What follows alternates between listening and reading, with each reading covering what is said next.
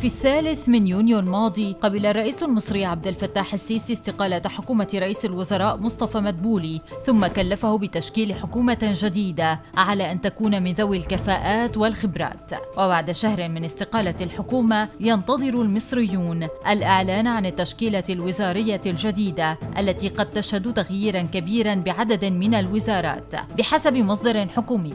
إذ أكد أن مراسم حلف اليمين للوزارة الجديدة ستكون يوم الأربعاء الثالث من يوليو بمقر رئاسة الجمهورية بمصر الجديدة. لكن لماذا الثالث من يوليو؟ لهذا اليوم دلالته على حدوث تغيير كبير على مستوى السياسات والأشخاص لأنه في مثل هذا اليوم من عام 2013 أنقذ القائد العام للقوات المسلحة آنذاك عبد الفتاح السيسي مصر وانتصر لإرادة شعبها وثورته العظيمة وبالتالي فالمصريون بانتظار إحداث تغيير كبير في الثالث من يوليو من عام 2024 بحسب تغريدة للبرلماني المصري بكري عبر حسابه على منصة إكس